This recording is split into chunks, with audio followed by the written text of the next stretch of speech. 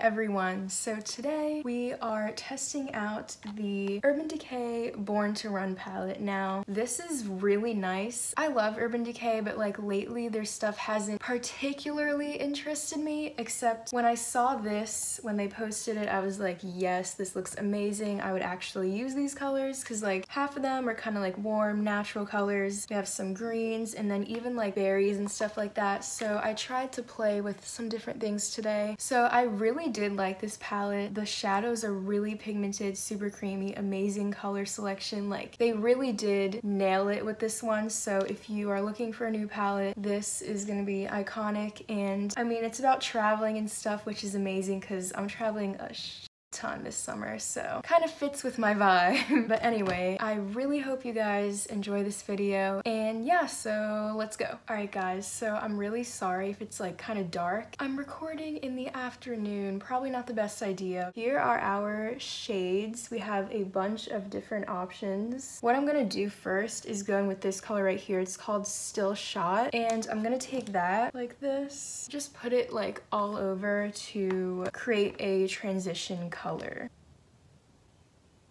This is like super pigmented and very easy to blend. I really like the way that looks. So there's that. And then I'm gonna go in with the same color on the bottom so it can kind of like connect.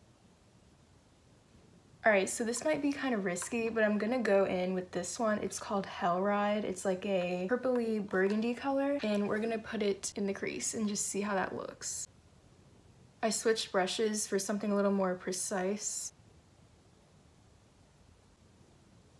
So basically what I'm doing is creating a very defined like purple crease right here. Here is where the fun starts. So then I'm gonna go in with the one under the one I just used. This one is called Wild Heart. And I'm gonna create like a cut crease halo eye type thing where it's gonna be like really defined. Just gonna go in with a synthetic brush right here. Go into Wild Heart and basically create a little cut crease action. Probably should spray my brush. So I'm gonna use this Glam Glow setting spray and just do that.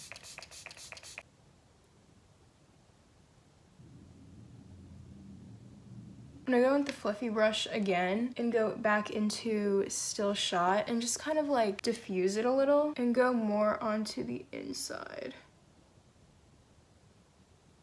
Okay, so now I'm just gonna go back in with the Hell Ride color and define the crease a little more.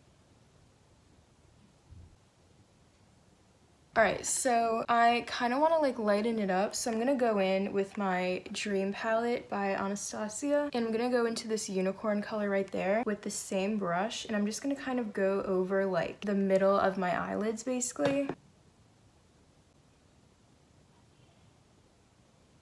What I want to do is basically outline the cut crease into a wing. I don't know if that makes sense. Um, let's just try it. I'm scared. One eternity later. Alright guys, so I don't know what I just did, but I basically like made these little eyeliner things. So now I'm gonna go in and do the bottom lash line and I was thinking of using this Baja color right underneath, just all smoked out. So that's what I'm gonna do.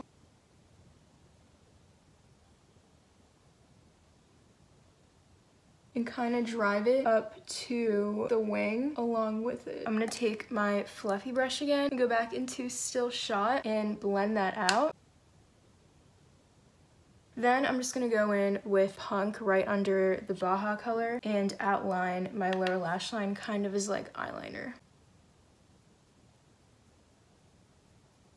Now I'm gonna go in with my Anastasia Dream Glow Kit and I'm probably gonna go into mm, maybe the sunshine color. So I'm gonna go into that one and just put it in my inner corner. Honestly, even taking it like actually under my eyes too. So it kind of like diffuses really well. And then for my actual brow bone highlight, I'm just gonna go into this color on the end called Breakaway. I'm gonna take that and just put it up here. It's kind of like a satin light kind of color. Not really white, more of a cream. This is interesting. So now I'm just gonna go in and do my eyelashes and mascara and I will be right back. All right guys, I am back. So here are our eyes. Yeah, I actually love the way that this came out looking. Now that we've done that, let's do like some blush and whatnot. So lately I've been loving this blush. It's by ColourPop. The thing is like rubbed off because I've had it for a while, but I kind of like just rediscovered it. This is their Super Shock Cheek Blush. Um, it's kind of like squishy when you touch it, which is kind of cool. This is in the shade Jellyfish, and I'm just gonna go in with my finger.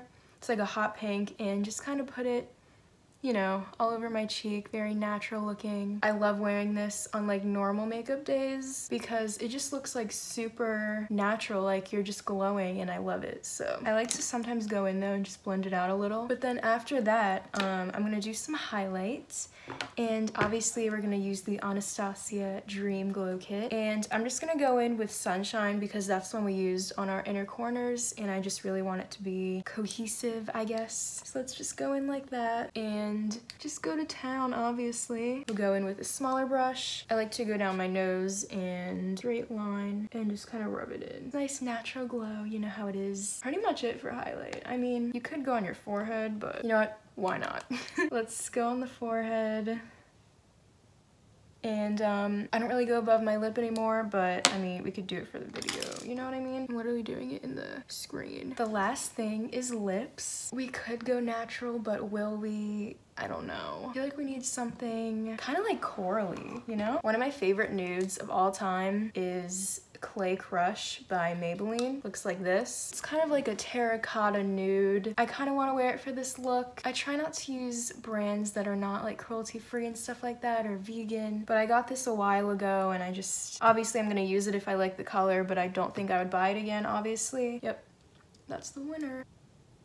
Oh, let's not forget setting spray. Um, so we're gonna use our Glam Glow Glow Setter. Obviously, this is amazing.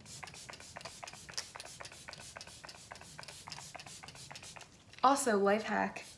Use it on your hair and it'll help get rid of the flyaways, which honestly should have done before shooting this video, but what are you gonna do? I'm a mess. So hopefully you guys liked this video. I'm really excited to keep playing with this palette. Next time I use it, I really want to try out like these greens and stuff. Thank you guys for watching. Let me know what you think of the palette in the comments below and the look if you are into that part. So I'll talk to you guys soon and thank you so much for watching. Bye!